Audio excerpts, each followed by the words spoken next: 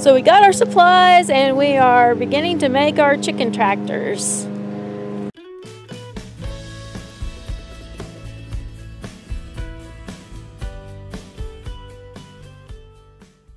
Okay, we start with two 2 by 4 by 8 sections.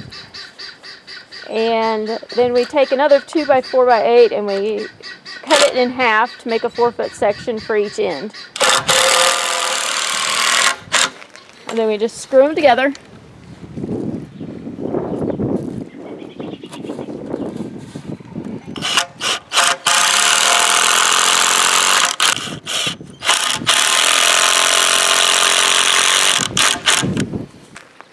Okay, next we cut two foot sections and screwed them on. And now we're going to add the top frame over that.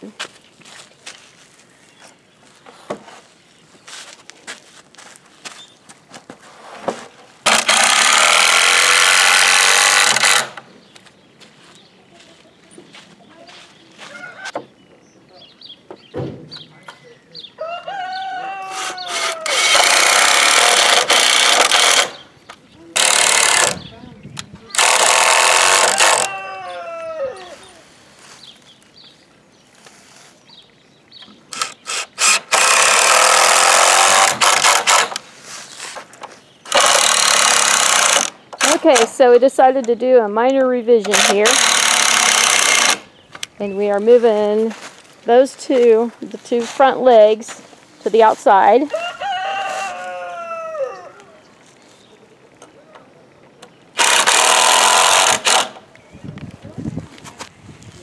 And the reason why we're going to do that is because we want to put a door that opens up on top and um, they were in the way on the inside. If you can't tell, we're just kind of making this up as we go. Both he and I have ideas on how we wanted to design, but we both have it in our heads, and so we are kind of combining it, or both of our ideas, kind of as we go along. So it may end up turning out to be quite interesting.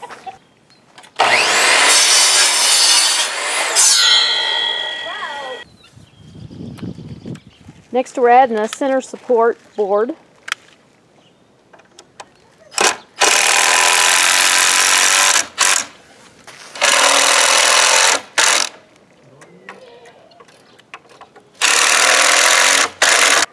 Left these boards to the inside because this end will be covered with the tin and it will work out better to leave them on the inside.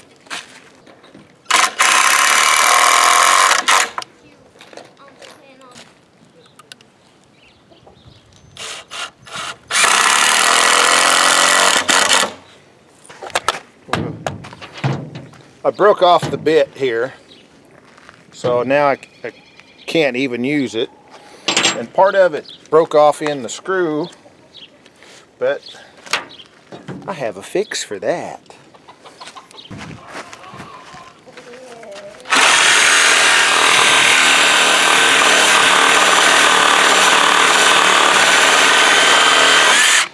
Ta-da! Good deal. Basically what the deal is is he put that one a little bit too close to the edge and we need it up just a little bit because we are going to put PVC pipe along the bottom so it's easier to scoot in the grass.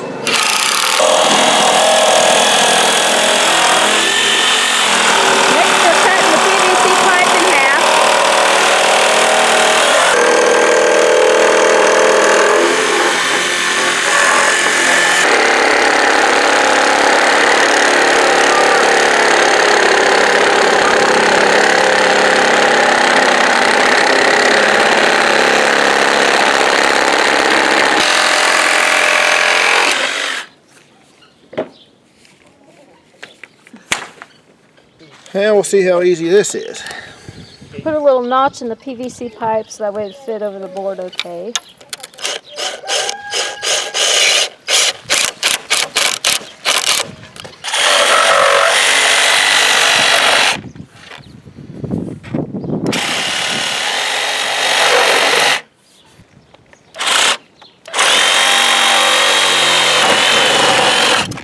There we go.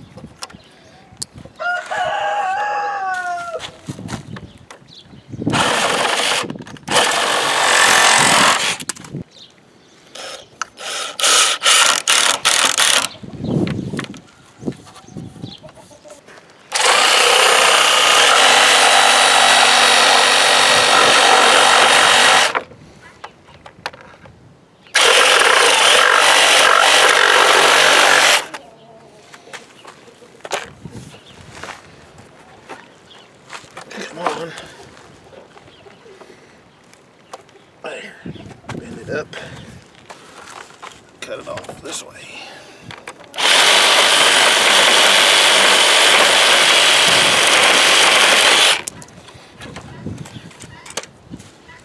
Pretty slick that way.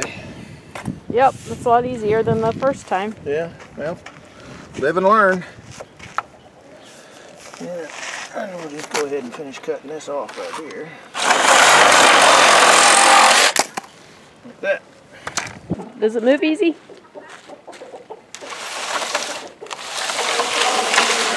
Not bad for me. At least on the dirt, anyway. Yeah. We'll have to see what it's like on the grass. Now comes the fun part of trying to build the door, your door there. Yep. How big did you say you wanted it? See, 'cause the other part is, is you're going to have to figure it's going to be inside. Mhm. See, and here's two foot. So our next dilemma is how big do we want to make the door? At first we were thinking about making it um, two foot. Then I got to thinking that might be a little bit small, especially if we're wanting to get in there and get the chicks out or something like that. And so the other option that we were thinking was to make this whole entire half of it the door. And then cover this half with tin. For the door, we're cutting two boards, four foot long, and then two boards, 42 inches, to fit this way. I had a brilliant idea. This is what piece, the little section that was left after cutting the, to make all the door here. So I thought, well, I'll just cut 245s on it. And what I'm gonna do with it is mount it under here, like that. Now the door, or the, yeah, the top gate will have somewhere to set on. Door. And that was just the leftover piece. Just a from- leftover piece from cutting the one two by four. So it worked out great on that place. That way I have less pieces of wood I have to throw away.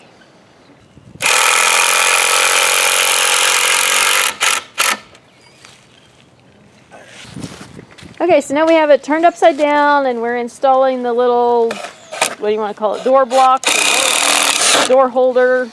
Well, I thought we were. That's not good. Yeah, Split out. I've got an old piece. I've cut one off of this one. Maybe I can do the same with that one. Let's start here, maybe.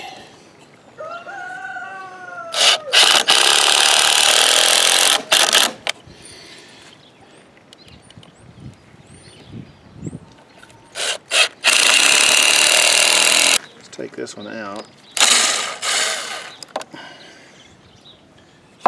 That's really not that big of a deal that that did that.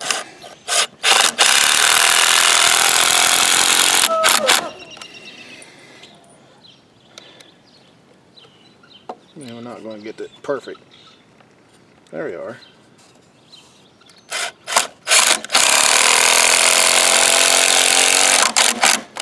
There we go.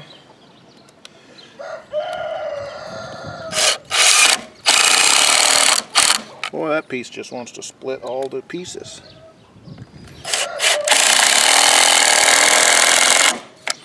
I can go ahead and take that out because that part doesn't matter. It needs to be on the inside. Now it's time to assemble the door.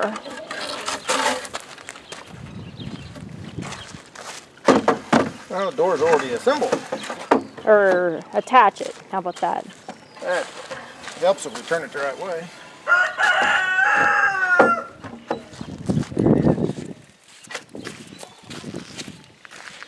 Oh, it's gonna be a tight fit. That's the way I want.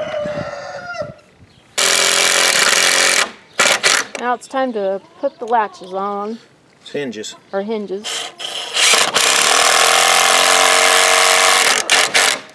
These screws are a little overkill, but, uh, well, I'd much rather have them hold and not come loose.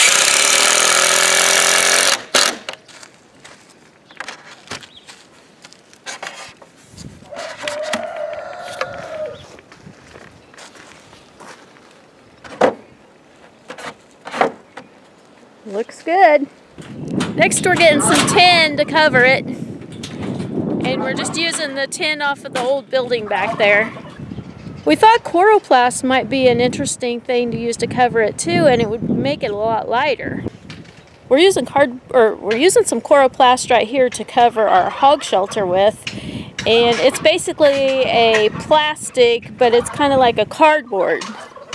And um, it's lightweight and pretty durable. And I think it would make an excellent cover for over a chicken tractor. We don't have any more of it right now, otherwise we'd probably use it.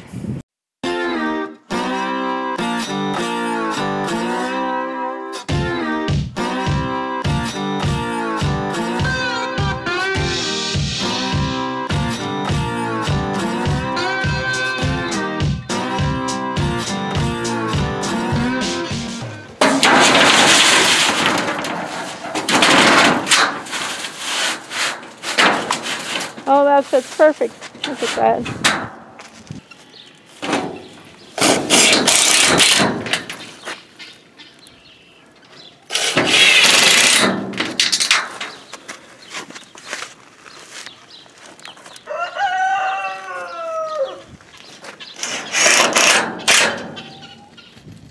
We're adding a board right here so that way we can screw the tin to it. We should have done this earlier, but we didn't think of it till now.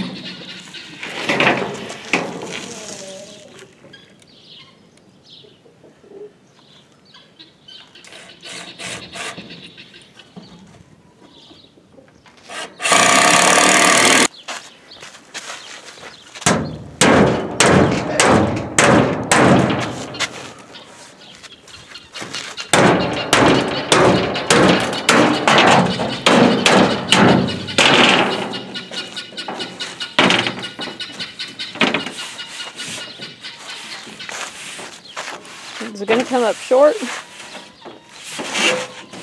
I hope not, but it might.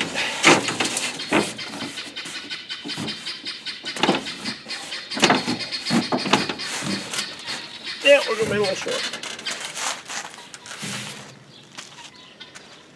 Now we're cutting a small section of the tin off so that way it will line up right with that board right over there.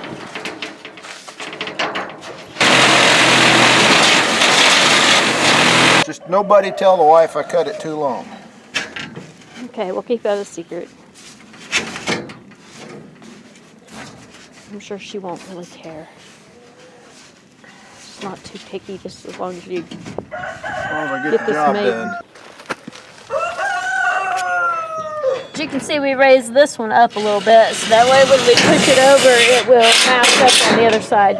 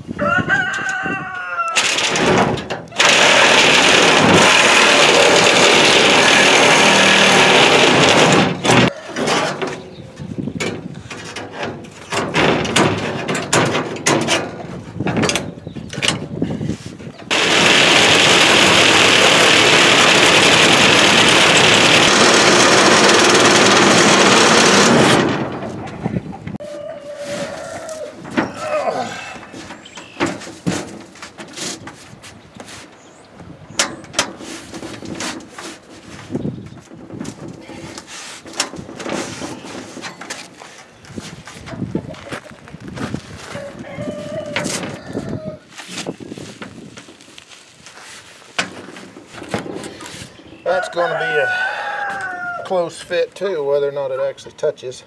Mm-hmm. I'm just gonna add a board underneath so we can do it. Okay. So it's kind of a cheat, but it still works. Yes, it does. It's like that.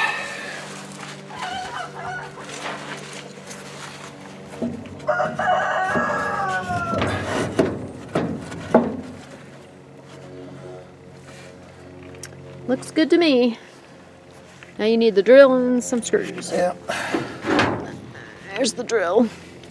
Needs battery in it too. Yeah, we'll get that here in a second. And the screws. Uh, not these screws. I need the long screws. Oh, the long in the box up there by the fence. Okay. There's the battery.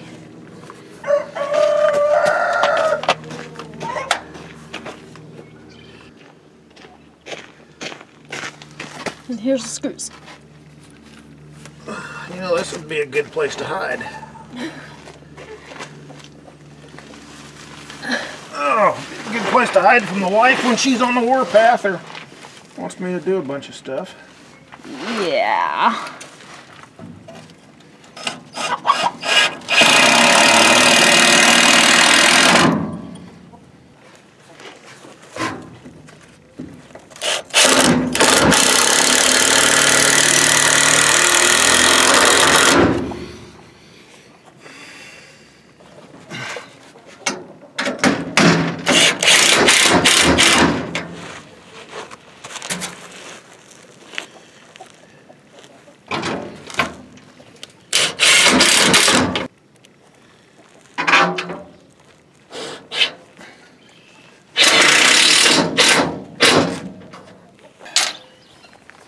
Next we cut a piece of tin to fit the back end and we're going to screw that into place and then we will be done with the tin.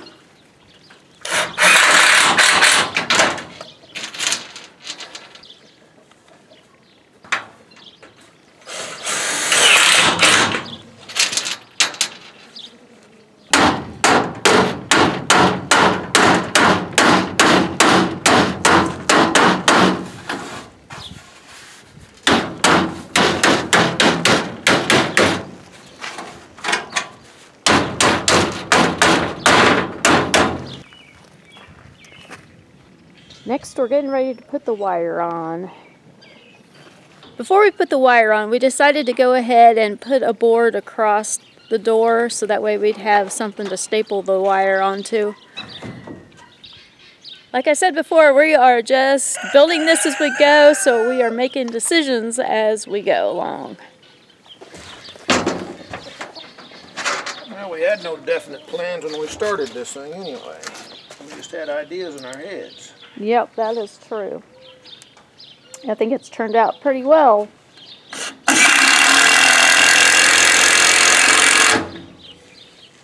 Maybe we need to combine our ideas more often like this. Well, we'd both be in a world of hurt. Okay, now it is time for the wire.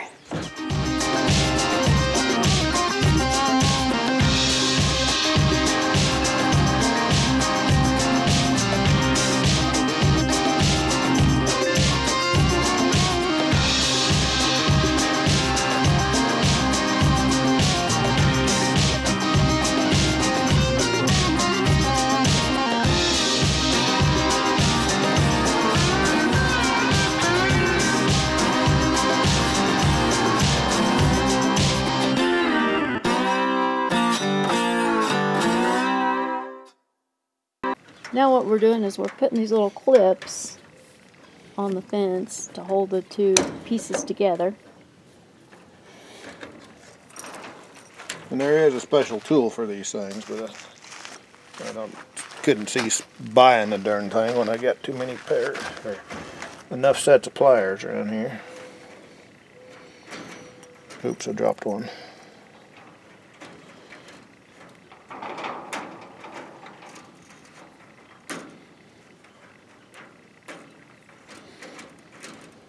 I don't know if we'll finish this up yet tonight or not. Probably Yeah, we got a big yard light.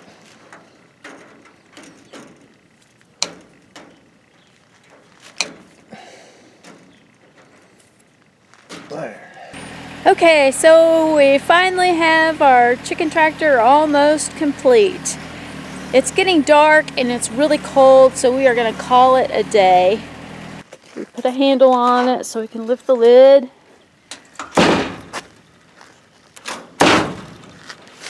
And then the only thing we still have to do is trim this extra wire off and staple it down We ran out of staples, and the kids are in town, so they're going to bring some home, and then we'll finish that up tomorrow. And then we'll get the chicks in it and see how they like it.